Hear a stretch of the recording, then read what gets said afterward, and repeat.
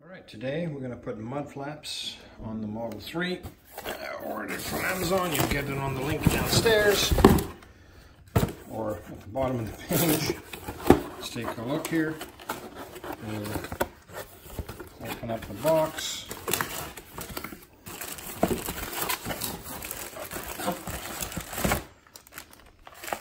One set, two set, and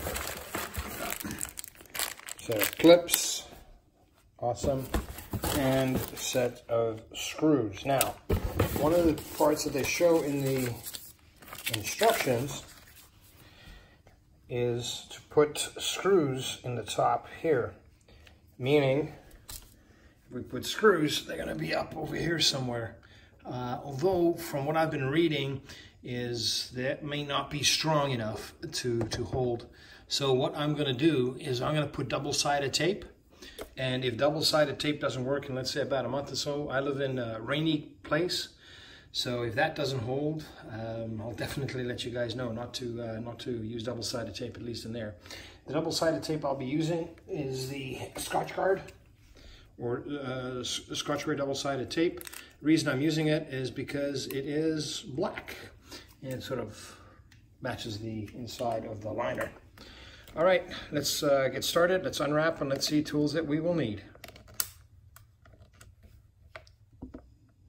Here we have tools that are being used for this job.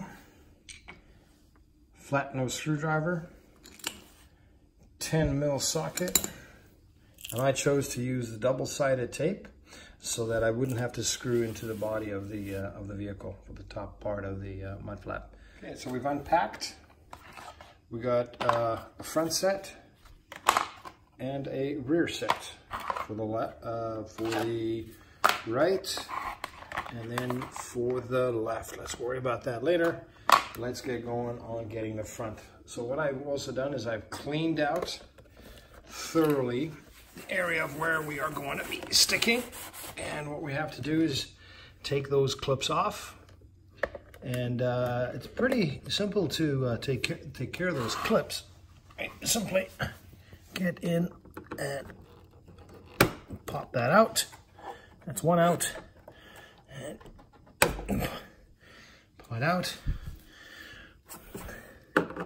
Get the next one in there.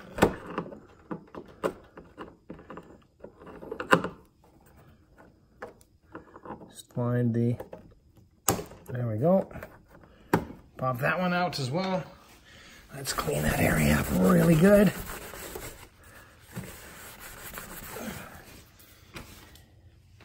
Now, what I'm going to do is first of all, let's see how it lines up. Oh my gosh, that looks, that fits nice. It's a nice, good, clean fit. Okay, what I'll do is the double-sided tape I'll put on here as not to um, uh, take a guess as to where it, where it needs to be and then go from the bottom and then up like that. All right, here we go. So now that we've put it on, we take the clips that they supplied because the, um, the ones that come with the car seem to not fit once these are in there. I think it's a little bit too thick. So we put that in.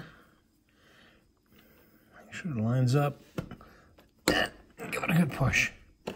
Perfect. It's, now it's on there pretty solid. That's not going anywhere. And we can move on to the rear flaps. All right, so now we're on the back. It's a little bit different. As in, this is more of a different kind of material, but underneath, I can't really get the camera up there very good, is a bolt. There's the bolt. So what we have to do is undo that bolt. That bolt is a uh, sorry, the gimbal's getting a little bit confused here. That bolt's a size 10, uh, 10 millimeter, and what I'll do is I will uh, take that off and then uh, put on the rear mud flap. Uh, the rear mud flap seems to have a, uh, a notch here that actually clips in to up over here. So that's uh, that that's uh, that's good. Let me uh, let me get started with that. All right, so undoing the bolt at the bottom here. Uh, 10 mil. Just a lot easier if I just there we go.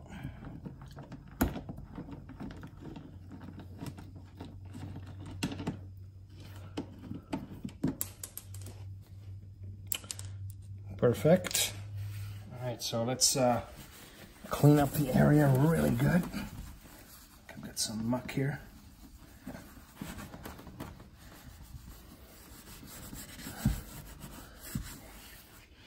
Let's get rid of this uh, tab. Let's pop it out. Got uh, tab ready here. So now what we do is We line it up as best we can.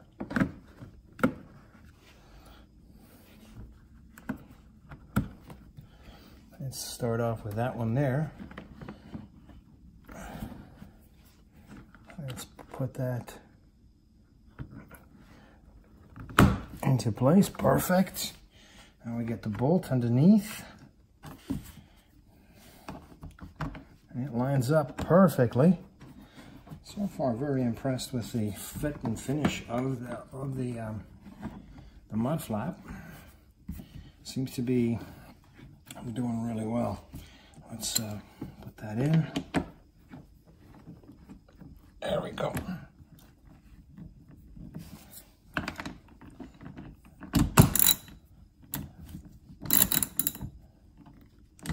All right, that's in there nicely. It's a beautiful, nice, that's just a shadow that fits in there.